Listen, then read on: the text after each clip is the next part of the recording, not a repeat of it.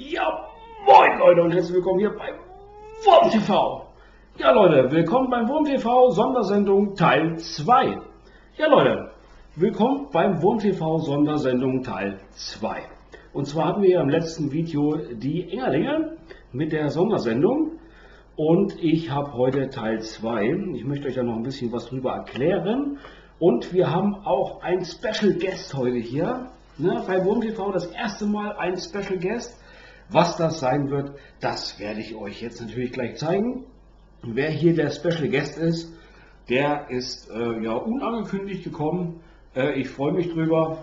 Und äh, wer das ist, das zeige ich euch jetzt. So Leute, willkommen hier zurück beim Wurm TV. Ich habe jetzt die Kamera mal umgestellt. Und zwar haben wir ja einen Special Guest heute hier, das habe ich ja schon angekündigt. Und zwar ist der Special Guest einmal hier drinnen. Ne? Viele werden sich jetzt gefragt haben, wer ist der Special Guest heute? Wir haben einen Special Guest. Und zwar, ich kann den Deckel leider nicht aufmachen, Leute, aber ich zeige es euch mal hier. Und zwar ist mir gerade eine Hornisse hier reingeflogen. Ja, hier habe ich die jetzt drin, eine Hornisse. Und da ging es natürlich auch drum. Ähm, es gibt ja im Moment viele in den Medien, wo gesagt wird, äh, die asiatische Hornisse breitet sich in Deutschland aus. Aber das hier ist nicht die asiatische Hornisse, sondern das ist die heimische Hornisse. Die ist auch recht groß, so wie man das hier drinnen sieht. Die werde ich natürlich jetzt gleich freilassen. Ähm, die wird nicht getötet, weil die stehen wirklich unter strengstem Naturschutz. Aber wirklich ein schönes Exemplar, Leute. Wenn ihr mal hier guckt, guckt mal, wie groß die ist. Ne? Wenn ich das mal vergleiche, meine Handfläche, ne? hier die Handfläche und da die Hornisse, Boah, die ist echt riesig. Leute, die ist echt riesig. Die werde ich jetzt einmal wieder freilassen. Das war der Special Guest heute über Hornissen. Ja, wir können auch mal ein Video machen über andere Insekten, ne, die hier so im Garten leben oder im Umkreis. Das ist auf jeden Fall die heimische Hornisse. Und wenn ich mal genau schaue, äh, warte mal, ich drehe mal hier die äh, Beleuchtung ein bisschen rüber, so rechts und links. Na, dann kann man hier ein bisschen gucken. Das ist die heimische Hornisse und wenn ich das so richtig sehe, dann ist das eine Arbeiterin. Ne? Das ist keine Königin. Woran erkennt man jetzt die Königin? Das werden wir mal in einem der nächsten Videos machen. Das machen wir nicht heute. Das ist, wie gesagt, jetzt der Special Guest. Den werde ich jetzt einmal freilassen, bevor wir weiter hier zum, äh, ja, zur Wurm TV Sondersendung Teil 2 kommen. Wir sehen uns hier gleich wieder. Ich lasse die jetzt einmal frei und dann sehen wir uns hier gleich. Leute, Hornisse ist freigelassen, ne? die ist weg, die habe ich wieder rausgebracht. Aber wir kommen jetzt zum ursprünglichen Video zurück. Was will ich euch jetzt noch über die Engerlinge erklären? Und zwar habe ich jetzt in den anderen Behälter, weil da drin war ja die Hornisse, deshalb musste ich das jetzt äh, ja mal hier reinmachen. Und zwar unsere Engerlinge. Ne? Ich habe noch zwei Stück gefunden ähm, kam jetzt die ein oder andere Frage auf. Äh, erzähl doch mal ein bisschen mehr über diese Engerlinge.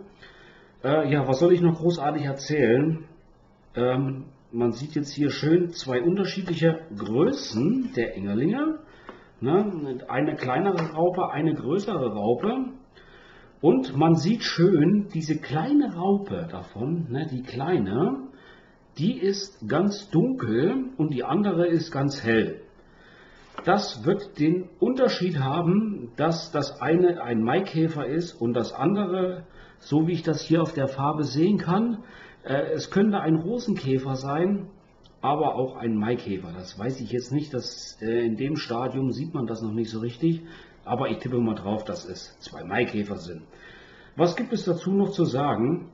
Die Engerlinge, wenn der Maikäfer oder der Rosenkäfer die Eier in die Erde gelegt hat, bleiben die zwei Jahre in der Erde. Man glaubt es kaum. Zwei Jahre bleiben diese Raupen in der Erde und fressen sich durch, bis dann endgültig der Käfer daraus entsteht und dann einfach an die Oberfläche krabbelt und einfach davonfliegt. Ja, der fliegt einfach davon, der entpuppt sich und fliegt weg. Also egal ob Maikäfer oder Rosenkäfer, Zwei Jahre bleiben diese Raupen in der Erde, bis sie dann einfach aus dem Erdreich rauskrabbeln und davonfliegen. Die Lebensdauer des Maikäfers und des Rosenkäfers man glaubt es vielleicht nicht, aber sind nur vier bis acht Wochen. Ein Maikäfer lebt nur vier bis acht Wochen, wenn er vollständig entpuppt ist, aber die Larven bleiben zwei Jahre in der Erde. Also man hat vom Maikäfer nicht viel, wenn der fertig ist, aber man sagt ja, wo der Maikäfer hinkommt, das bringt Glück, der Rosenkäfer nicht. Ne, da, gibt, da kenne ich nichts drüber, aber wie gesagt, zwei Jahre in der Erde, und dann fliegt er einfach raus und weg ist er. So Leute, das soll es zur Sondersendung hier beim WurmTV gewesen sein, zu dem Thema Engerlinge. Ne? Die bringe ich jetzt nochmal raus und werden morgen umgesetzt. Und wie gesagt, Leute, das war's zum Thema Engerlinge. Bis dahin, tschüss.